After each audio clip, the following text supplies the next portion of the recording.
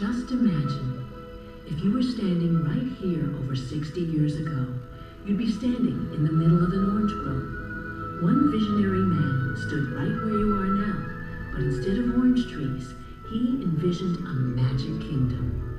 This man's name was Walt Disney, and his dream would be called Disneyland. It has been said as long as there is imagination left in the world, Disneyland will never be complete.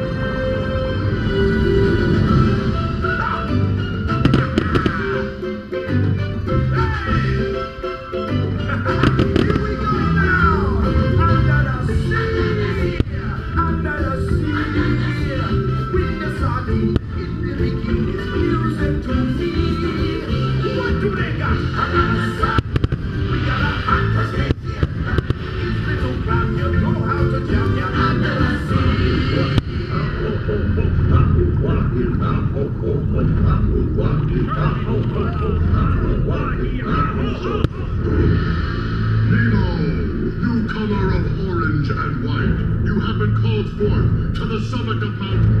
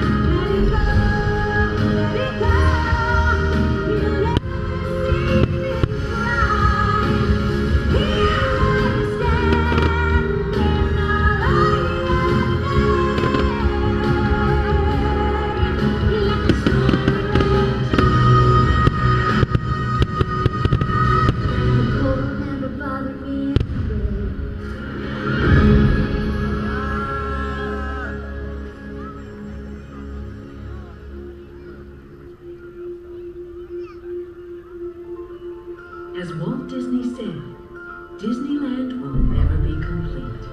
And as the future will show us, with enough imagination, it will continue to build and grow on one enduring promise that all who journey into its magical gates will feel forever young.